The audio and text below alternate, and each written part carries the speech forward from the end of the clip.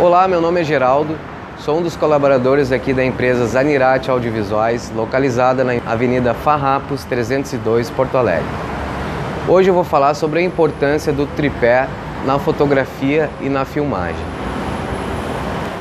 O tripé é um acessório muito utilizado em estúdios de fotografia e também em fotografia externa, onde pode ser feita aquele tipo de fotografia em longa exposição. Já na filmagem, ele é um acessório muito importante para estabilizar sua imagem, sendo ela em movimento ou parada. A gente tem disponível diversos modelos de tripé, seja ele mais simples ao mais sofisticado. Vou falar um pouquinho sobre esse tripé, tá? É um tripé da marca WF, tá? Ele é um modelinho 3750, tá?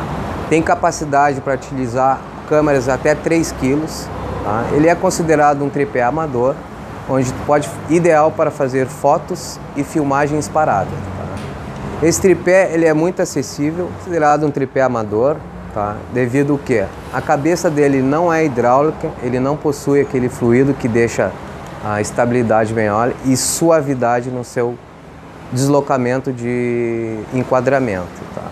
O pessoal utiliza muito, ele é indicado muito para fotógrafos amadores, tá? devido ao preço dele muito acessível. Esse produto a gente tem disponível aqui na nossa loja e também no Mercado Livre. Não deixa de curtir a nossa página aí. Obrigado a todos.